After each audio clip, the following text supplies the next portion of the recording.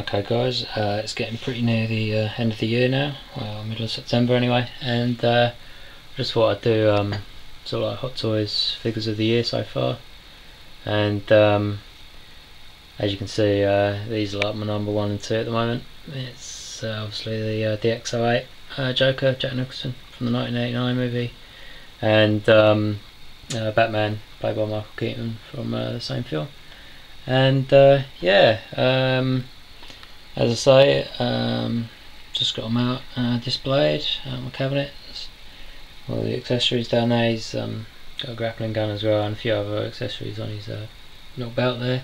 Uh, the Joker's um, holding onto his cane, and um, the chattering teeth. Um, and as you can see here, here's the um, other accessories. Joker comes with um, possibly slightly more and better accessories with the Joker figure. And um, I don't know maybe I'd, I'd just put the Joker um, the head um, I don't know he's um, I don't know, got a bit more character about him I feel um, than the Batman guy. Uh, Batman is like awesome and all that completely accurate to how um, the Batman was in the 89 film. But um, I don't know just personal preference um, has the Joker just nudging in front? Uh, as I said, it's um, middle of September now, and um, of course the year's not over yet, and um, uh, we have uh, a couple more DXs uh, coming out, as um, some of you might know. Uh, obviously the uh, DX11 and uh, the DX12. Um, I think the DX11 is the um, 2.0 Heath Ledger Joker, and the DX12 is the um, the Dark Knight um, Batman from the the um, latest film, and um, uh, which was released this year. Uh, so that'd be interesting um, to see. Uh, they're shaping up really, really good. Those figures. Um, see how they're uh, be compared to the um, DX01 and DX2.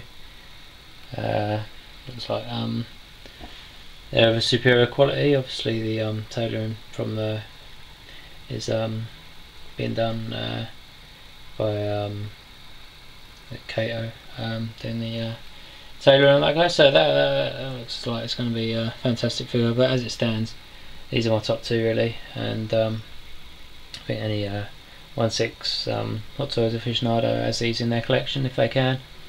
Um, it'd be nice to get the um, Batmobile as well, which Hot Toys is um, going to release, but um, I don't know. I think I'm going to hold out for that because um, obviously it'd be nice and it kind of like complete the set really. Um, but uh, what with Hot Toys announcing uh, Back to the Future um, license, you've got to imagine that a DeLorean is going to be um, in the um, in the uh, pipeline. So uh, I might hold out for that. Really, I'd rather have a DeLorean uh, than a Batmobile from the '89 um, film uh, uh, ideally. But yeah um,